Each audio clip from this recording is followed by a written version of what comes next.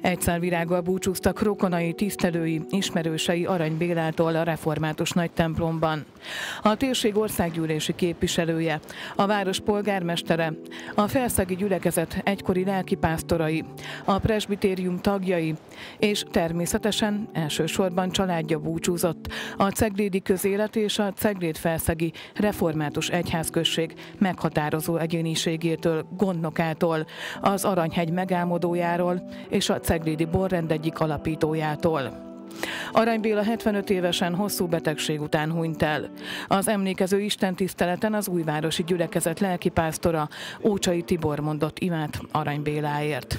Urunk, Te látod most a mi szívünket, lelkünket. Te látod a mi gyászunkat, Urunk. És éppen ezért, Urunk, Téged kérünk arra, hogy Te nekünk segítségül.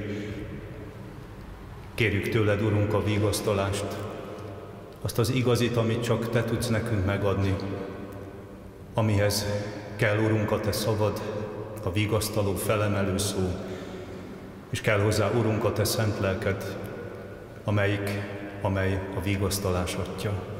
Arany Béla életútját Szabó Árpád Csaba, a Felszegi Református Gyülekezet lelkipásztora elevenítette fel. Arany Béla 1946. július 31-én született, összetartó családban nevelkedett.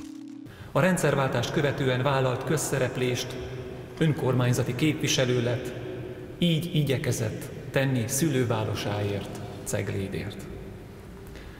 A 80-as évek végén összeszervezte a szőlő és gyümölcs gazdákat szakcsoportba, majd a rendszerváltással tágabb lehetőség nyílt a gazdálkodásra, és ebből a szakcsoportból beindította 15 taggal az Aranyhegyi Pince Szövetkezetet, amelyet aztán egészen haláláig végig vezetett. Alapító tagja volt a hegyközségnek, valamint az Ungvári László borrendnek. A lelkipásztor Lukács evangéliumából idézett boldogok azok a szolgák, akiket ébren talál az úruk, amikor megérkezik. Bizony mondom nektek, hogy felövezi magát, aki asztalhoz ülteti őket és felszolgál nekik. Az ige a szolgaságról beszél, de ez nem az a fajta szolgaság, ahogy ma értjük. A Biblia alapján mi sokkal inkább gondnoknak fordítanánk le ezt, fogalmazott.